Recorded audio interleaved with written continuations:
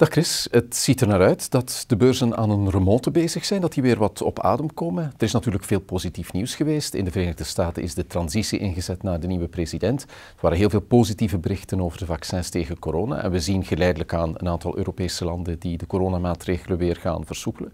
Dat blijft niet zonder gevolg. Hè. De Dow Jones die heeft de magische grens van 30.000 punten weer even doorbroken. En de vraag is dus, ja, zet zich dat door voor Belgische beursgenoteerde bedrijven? Laten we om te beginnen eens kijken naar die bedrijven die zwaar getroffen waren door de coronacrisis. Mogen we spreken van een normalisering? Ja, het is inderdaad duidelijk dat de beurs zich hersteld heeft voor een groot stuk sinds het goede nieuws van het vaccin. En als we inderdaad meer specifiek kijken naar bepaalde sectoren die enorm zijn getroffen door de lockdown, kijk, denk ik aan de reissector, aan travel, ook alles wat met leisure te maken heeft, dan zien we inderdaad een beetje een opluchtingsrally, eh, waardoor het inderdaad de meeste bedrijven hierin een zware eh, correctie zich hebben goedgemaakt, maar zijn nog altijd niet op niveaus van voorheen natuurlijk. En dan denk ik meer specifiek bijvoorbeeld aan aandelen zoals een Basic Fit of een Kinepolis, die eigenlijk volledig in de tweede lockdown zeer lage waarderingen hebben gehaald, omdat inderdaad mensen weinig geloof hadden dat we gingen terugkeren naar het fitnesscentrum of naar de cinema. Intussen hebben we ook gezien dat die lockdown en die hele pandemie voor een aantal bedrijven echt wel een push heeft gegeven in de business. Zie je dat ook nu, dat zij gaan kunnen blijven profiteren van dat gewijzigde consumentengedrag? Ja, reeds voor de COVID-crisis hadden we eigenlijk inderdaad onderliggende trends zoals e-commerce die bezig waren. Maar wat we nu natuurlijk zien, dankzij twee lockdowns om het maar zo te noemen, is dat deze trend zich enorm versneld heeft. En natuurlijk dat het consumentengedrag zich daarop heeft aangepast en dit zal ook blijvend zijn. Wat we daar bijvoorbeeld denken is aan een bedrijf in België, Bpost, die natuurlijk enorm profiteert van de pakjes.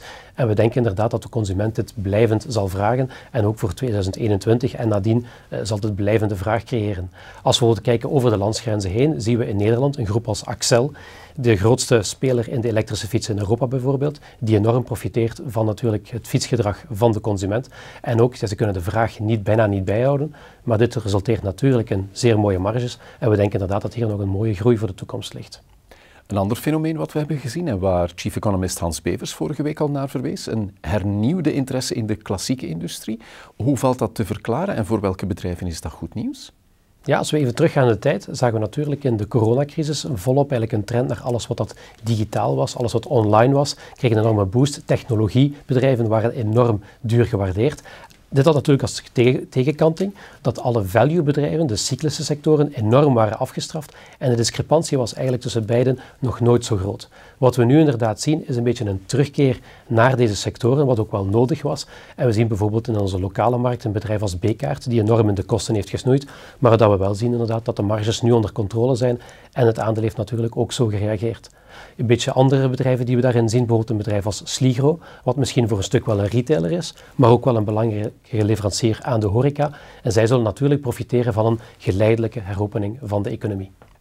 Tot slot, Chris, mogen we stellen dat de belegger er nu weer vertrouwen in heeft dat het goed komt met de beurs en de economie? Zoals altijd natuurlijk loopt de beurs voor op de economie. En wat we nu natuurlijk zien sinds het goede nieuws van het vaccin, is dat het inderdaad met de economie aan het goedkomen is. Als we ook realistisch zijn, het alternatief voor de beurs is vandaag nog geen echt alternatief. Interestvoeten zijn laag en zullen nog laag blijven. En vastrentende obligaties zijn natuurlijk geen alternatief daarvoor. Chris Kippers, bedankt. Tot de volgende keer. Graag gedaan.